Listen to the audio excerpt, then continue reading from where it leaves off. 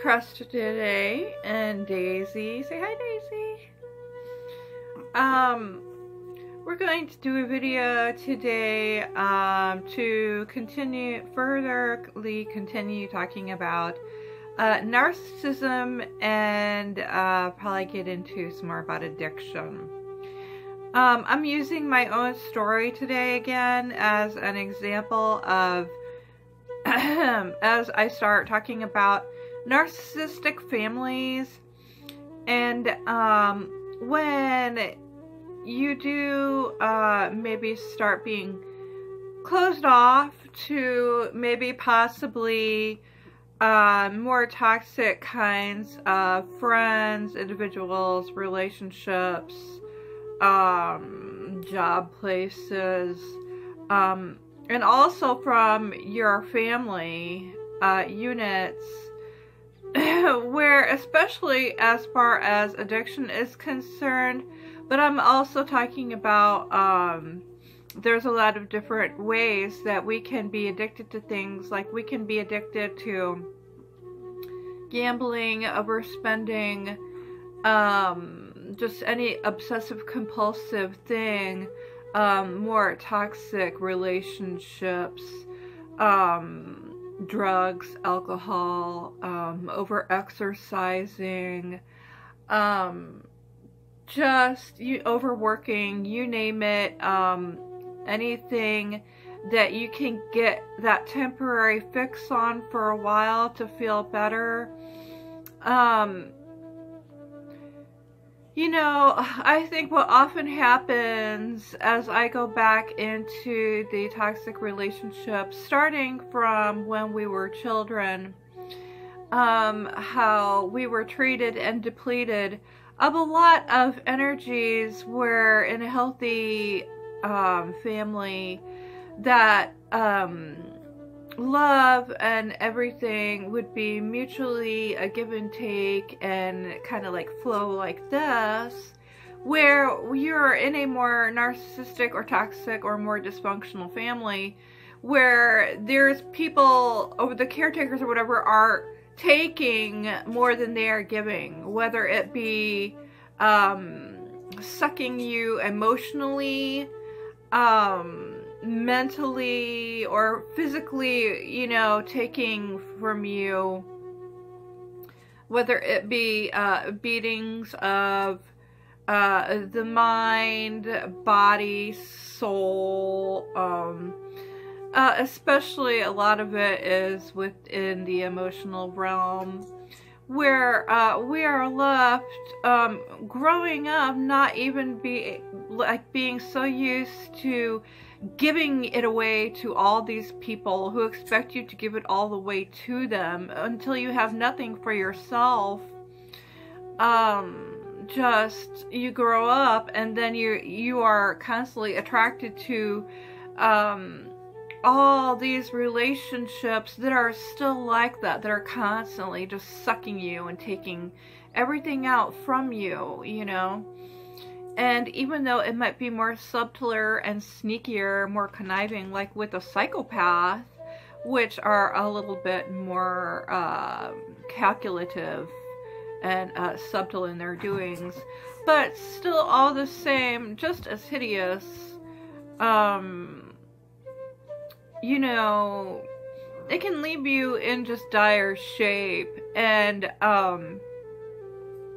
whether you're going to start whether that narcissistic family or relationship becomes finally uh, bored with you one day like a you know just like batting a mouse around you know where they get bored with that and go find another source to play with one day like they like they usually do in the end because it's that cycle of um, honeymoon they're going to love you and tell you all these great things about you and give you all these things and just be like, I'm never going to do it again and everything's great. Where they condition you with that, that, um, opiate, or that, uh, level of, you know, dopamines, that fix on the dopamines, and that, and it feels really wonderful for a while, just like on top of the world, everything's fine again, at least for a while, you know. and then it goes over into the next cycle, which is the devaluing. Um, where it's all of a sudden they're being critical of you, of the things that you do, um, changing uh, what you think to what they're thinking, um, even more diabolical tactics like gaslighting and then making things all your fault and like all of a sudden um, everything poking at your most vulnerable areas and sensitivities and weaknesses and things um, you know is going to set you off into that crazy mode because you know you are running out of this energy. Um, they're just depleting you and sucking you like a vampire. And then you're just uh, left with um, all your wounds open again. And um, it can really anger a person. It can make you know you can feel like you're really going nuts. Uh, and then you try to attack that person back just trying to defend yourself and then all of a sudden they're calling you an ogre and it's all your fault. And suddenly you know even I know the verbal attack that came from uh, my mother the other day and my own children about uh, another fight about Thanksgiving just turned into like all of a sudden um, even my own daughter was threatening to call the police on me because I was confronting my mother again about uh, her, da- her dastardly trying to really like a three-year-old because they're very very immature. They're usually stuck on uh, levels where um, you know really young age emotional levels where they could never um, come out or mature in those areas um you know and so it's just like okay all of a sudden she has my children turn against me for the thousandth time and all of a sudden she didn't do it and she's the victim and all of a sudden she's uh I told her that I was having Thanksgiving at my house this year with just my children. Um all of a sudden she started wailing and crying like a banshee a crazy banshee woman uh because she often oftentimes portray, portrays a very, very um, pathological, codependent with a huge lot of narcissistic tendencies. Um, so, you know, where they can just um, all of a sudden be nice, and I even have it in my texts that um, I live in a one bedroom still as I start getting my schooling for um, addiction coaching. And um, of course,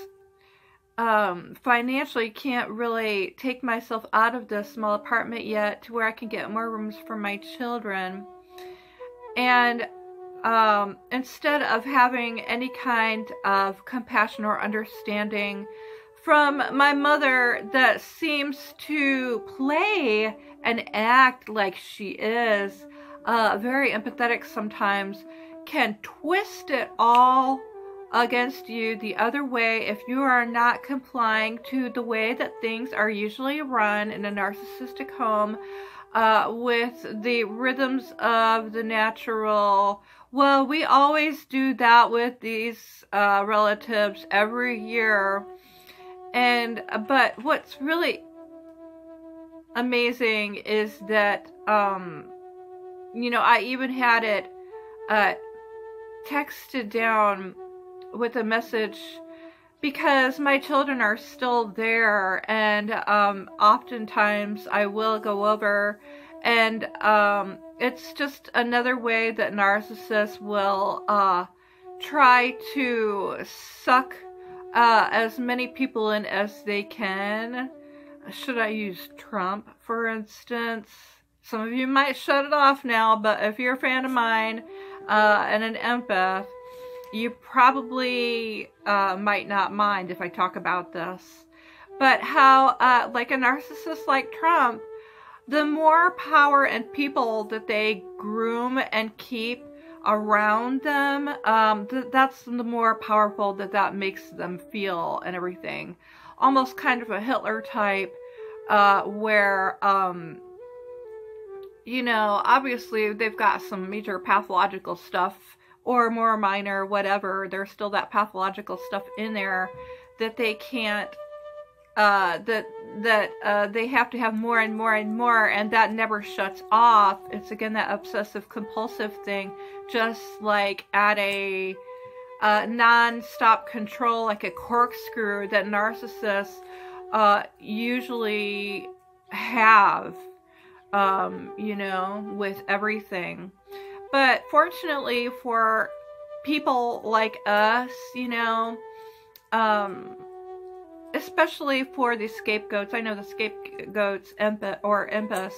get it a lot worse. Um, you know, codependent get it a lot worse in the neck and then uh, usually get shoved off more quickly, even as children, and cast out more quickly as children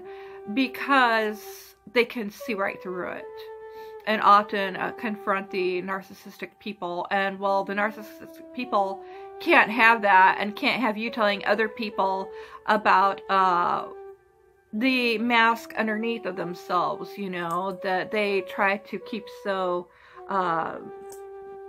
keep so on their faces that are swift and per, uh, persuasive and conniving and just all these great things and like your savior and all these great things or the saint you know um even with some cases of extreme codependence you know um where they will have to have everybody they can around them uh conditioned and groomed and manipulated uh, enough that they can um, use them like puppets in their ordinary game of life. So, um, hate to burst anybody's bubble here, but I knew I know that you people that are coming out of that bubble, like myself, um, that have been tormented all their lives uh, with different people and things, and uh, finally coming to the point where they're they're now learning about um, what these who these people are and what they're doing. Um, the narcissist will either get bored with the person and go on, which is also the third, uh, the third uh, of the circle in the abuse cycle where I was stating earlier, where it goes past the devaluing until you feel like you don't even know who you are anymore, and this person has completely taken over your mind, like where you have to think like the narcissist thinks because they will allow no other way or any other beliefs of your own that might stand in the way of them have controlling over you. Um, so anyways, the other circle is uh, the discard stage finally, where that's when they get bored or whatever, and they think that they can find more or better um, sources of supply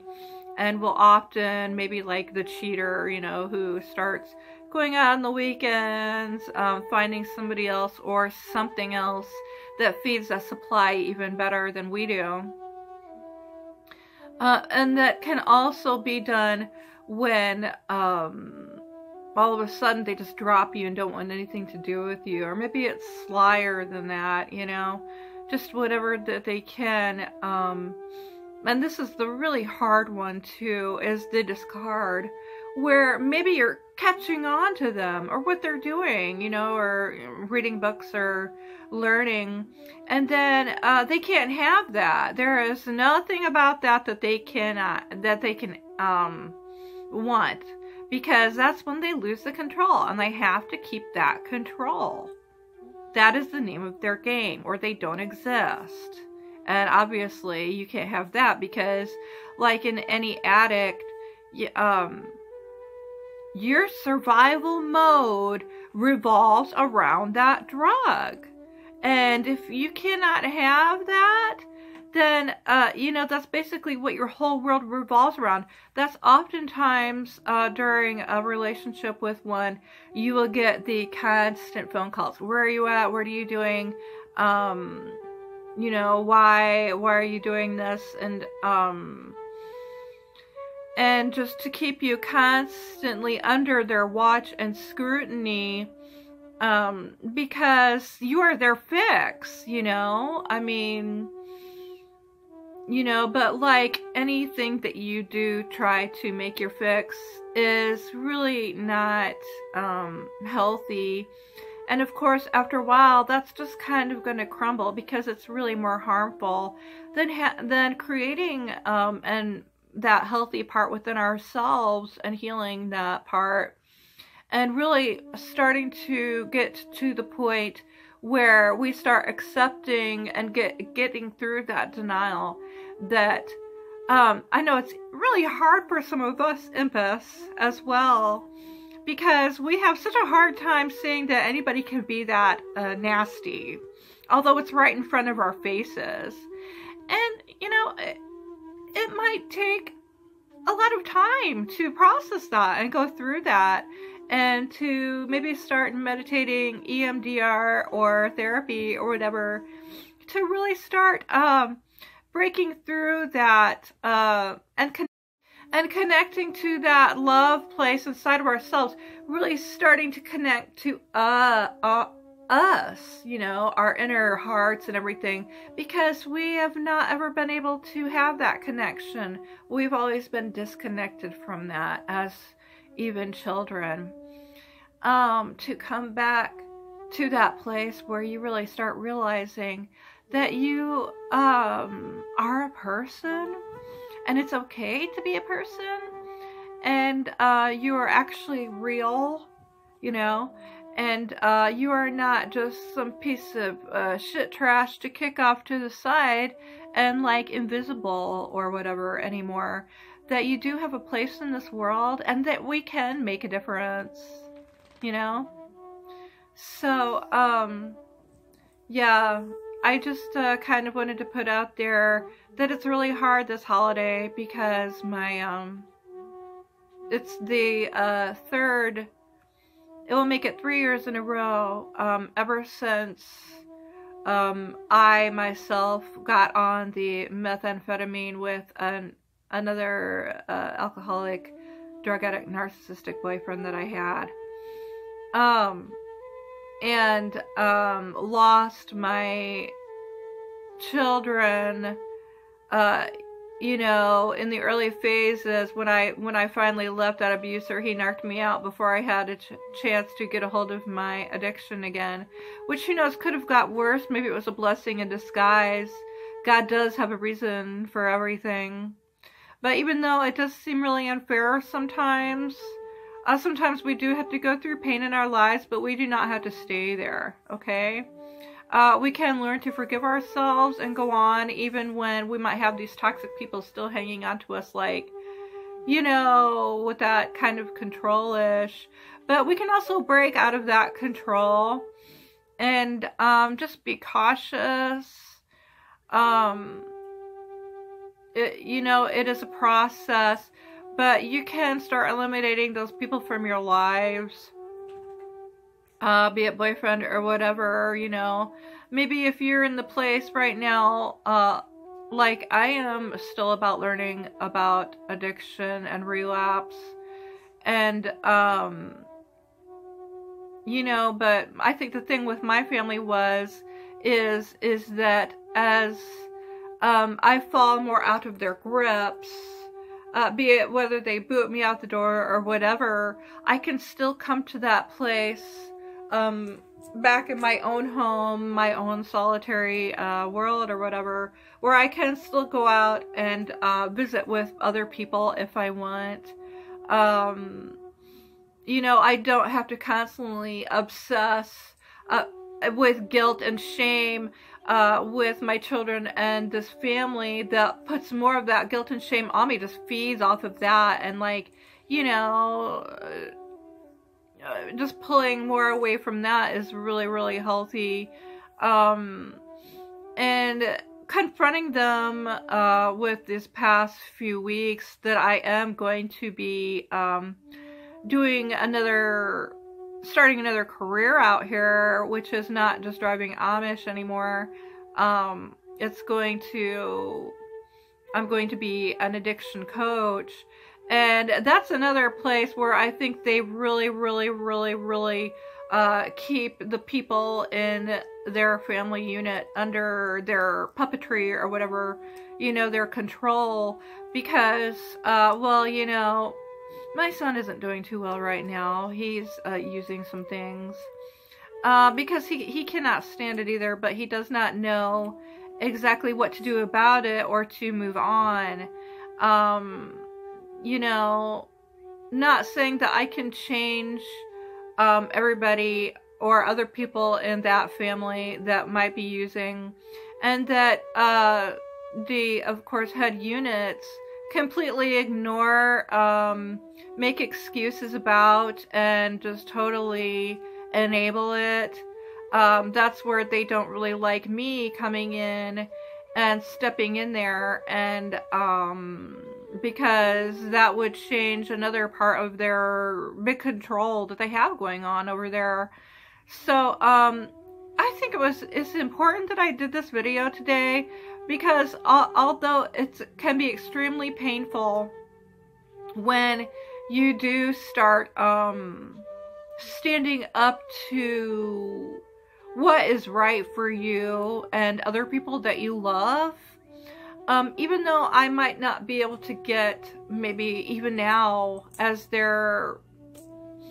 almost all adults, um, you know, almost now all over 18, my children, um, you know, when they stand up and say, well, you can't get me to not do this or not do that if I want but just try to be that role model and be like, hey, you know, I've been there, done that. Or maybe even if you haven't, if you're just watching this to learn, um, you cannot change other people. You have to kind of just let them go. And I'm not saying just walk away forever or whatever, because in your hearts, what you want to do is you love them and you want to help them. But just kind of like let go and let God, like, just take your hands, your controlling hands off their neck or whatever, and be like, you have to stop this now, you know. You have to let your fingers go and your hands go and just put them away and down and let go of yourself and your need to control that. And, um, you know, like with myself, just learning more um, about addiction and learning this coaching and just do a lot of prayer and meditation and stuff and know that um, that is their choice. Um, and it's going to be like that as I teach clients as well. Um, it's going to be the client's choice. I'm not going to be a therapist or a counselor or, you know, go really back to your childhoods or anything like that. My point as a coach is going to be to um, maybe kind of hold your hand through it a little bit and be a guide as to where and ask you questions about what um, you might feel is prohibiting your progress and what steps that you might need to take forward to um, set those goals for yourself that you might need to to do in order for this you know change to come about. But it is not in my realm to try to persuade you or give you advice on how to change